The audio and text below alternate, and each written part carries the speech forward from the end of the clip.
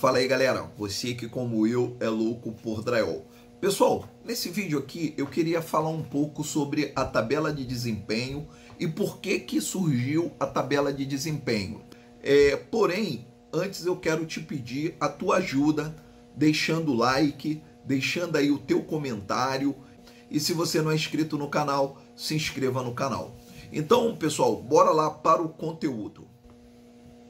Pessoal, um aluno ele veio me perguntar algumas coisas sobre a tabela de desempenho, o que, que seria tipologia, por que, que tem ali é, dentro da norma é, placas de 15 milímetros e algumas coisas. Então eu resolvi, para ficar mais fácil para eu explicar para ele, resolvi gravar esse vídeo e esse vídeo aqui vai servir também para tirar dúvida de repente de alguém que ainda não sabe da existência da tabela de desempenho.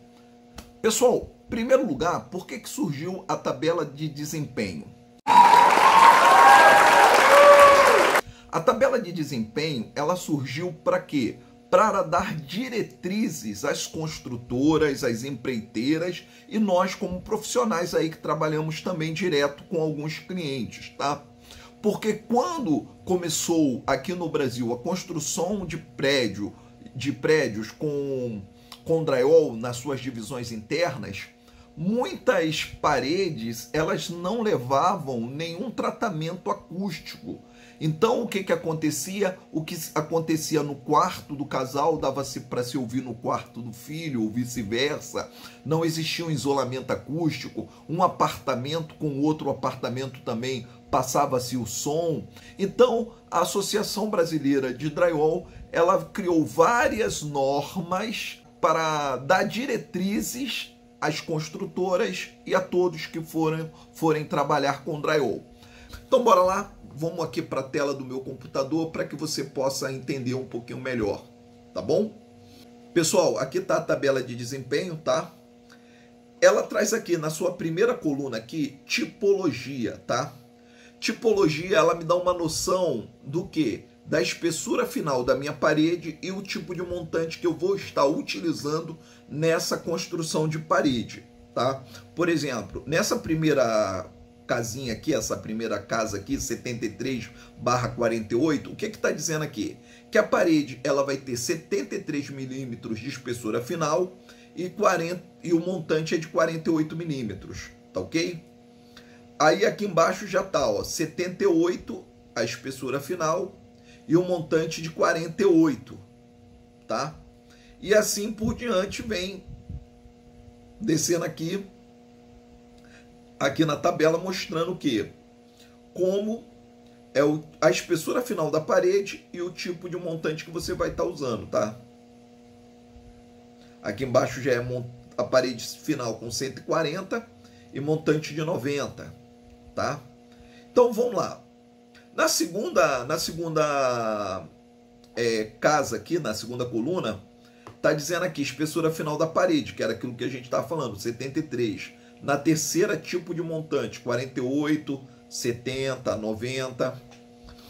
Aqui tá a distância entre montantes, tá, pessoal? Isso aqui é muito importante, porque a distância entre montante, ela, ela altera totalmente o desempenho, tanto é, é, na questão de pé direito da tua parede, quanto na questão também de resistência dessa parede, tá ok? Quanto mais o montante estiver próximo, mais, maior será o, o alcance na questão de pé direito e também a resistência mecânica dessa parede, tá? Então aqui a gente sempre vai ver montante de 48 e aqui na casa vai estar dizendo o desempenho com a distância de 600 milímetros ou de 400 milímetros. Tá ok? Nessa terceira coluna aqui, ó, nesse terceiro aqui, aqui tá falando sobre a questão da altura máxima, pé direito. Ou seja, um montante de 48, pessoal, na distância de 600 milímetros, eu consigo é, montante simples, tá? Montante único eu consigo um pé direito de 2,50. Na distância de 400, ele já muda, ó, já fica 2,70. Ele já sai de 2,50 na distância de 600 para a distância de 400 ele sai para 2,70. Ou seja, se o teu cliente chegar para você e falar para você, fulano, eu quero uma parede aqui, mas eu quero que ela tenha, ela seja o mais estreitazinha possível, eu quero que você trabalhe com aquele montante mais estreito, né? Eu quero que você trabalhe com montante de 48 e lá tiver e lá a altura for 2,70, pessoal, você vai ter então que usar o montante de 40 em 40 centímetros ou 400, 400 milímetros. Agora tu pula para a próxima casa aqui, que é montante duplo. Aqui, ó, aqui é para já trabalhar, ter uma ideia de como se você trabalhar com montante duplo. Se você trabalhar com montante duplo de 600 e 600, montante 48, já vai para 2,90. Se você trabalhar na, montante duplo na distância de 400 milímetros, ele já vai para 3,25, tá, pessoal? Então você já vê aí que aí já é uma uma altura ótima, né? 3,25 de pé direito já é uma altura ótima e você consegue com pé, é, com. Como é que eu posso dizer? Você consegue isso com montante é, duplo, montante 48. Nessa tipologia aqui de parede, pessoal, você vai usar duas placas de 12 milímetros e meio, uma de cada lado, tá? Uma de cada lado.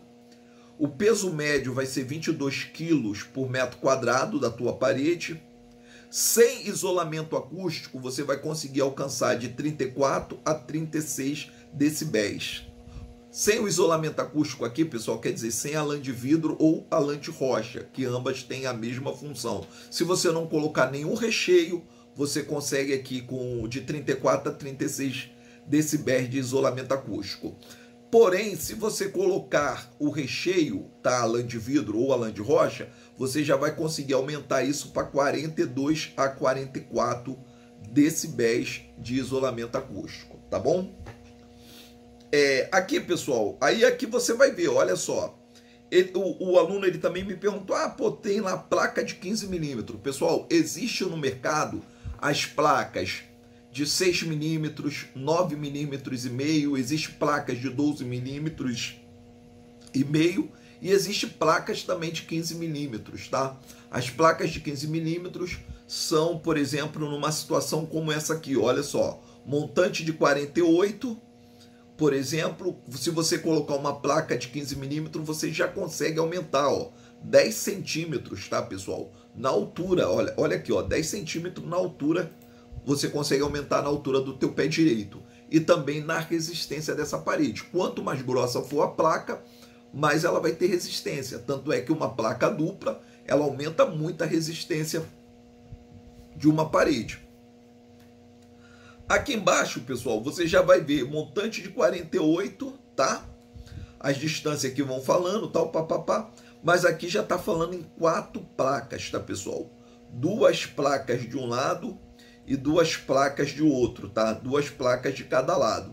Aí você vai ver, pessoal, que aqui aumenta bastante o isolamento acústico. Olha só, aqui com isolamento acústico e uma placa de cada lado, alcança-se 42 a 44. Aqui com, com duas placas de cada lado e isolamento acústico, alcança, alcança de 49 a 50 decibéis de isolamento acústico. Então você vê que aumenta muito, muito o isolamento acústico. E se for aqui embaixo, como aqui embaixo a gente pode ver aqui, olha só pessoal, aqui já é placa de 15 milímetros, tá? Com placa de 15 milímetros já vai conseguir alcançar de 50 a 51 decibéis, tá ok? Então, as placas, duas placas de um lado e duas placas de outro, tanto de 12 milímetros e meio quanto de 15 milímetros, pessoal, elas são muito utilizadas para projetos de isolamento acústico, ou seja, uma parede para ela poder conseguir um isolamento acústico satisfatório para isolamento entre salas e quartos, é, salas de aula e, e, entre salas de aula, entre áreas públicas de um, de um, de um, condom, de um prédio e, e, e, o interior de um apartamento, é necessário que, as, que essas paredes sejam construídas com placas duplas, tá ok?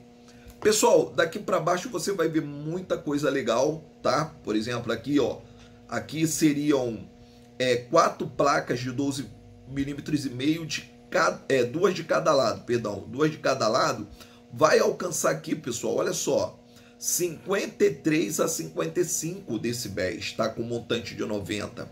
E uma altura, pessoal, de 5,50 de pé direito. Ou seja, um pé direito muito alto, 5,50 é um pé direito muito alto para uma parede, e ela consegue alcançar essa altura com uma placa de 12 milímetros e meio de cada lado e um, e um isolamento acústico também muito alto, de 55 decibéis. Pessoal, não me lembro bem agora, mas eu acho que se exige que o isolamento acústico entre uma parede de uma sala de aula e outra sala de aula tenha em torno de 50 a 52 decibéis de isolamento acústico. E você vê que aqui, nessa questão aqui, ele ultrapassa os 52 decibéis que seria o mínimo necessário lá, tá? Então, pessoal, peguem essa, essa norma, estudem essa norma, dá uma olhada com calma.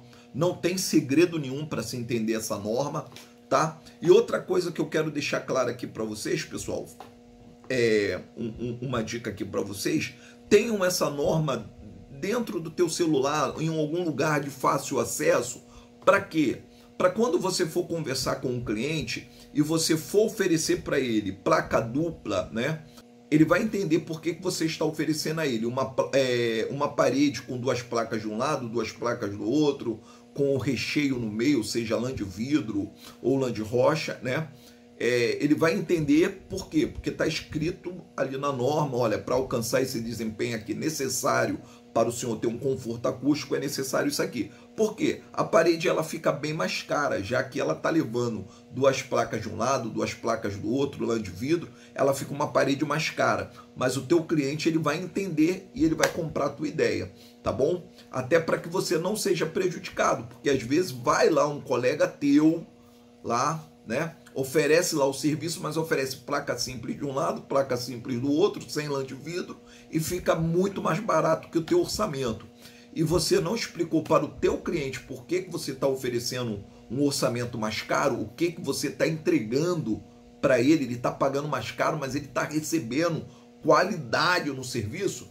Se ele, se você não explica isso a ele, ele simplesmente vai fechar o preço com o teu colega que está vendendo mais barato, tá bom? Então, pessoal, fica com Deus, tá? Deus abençoe a todos. E eu quero dizer uma coisa aqui para você, querido. Se você não é inscrito no canal, se inscreva. Se ainda não deixou o like, deixa o like, ajude o canal aí, porque se você é louco por drywall, então você tem que se inscrever no canal. Um abraço.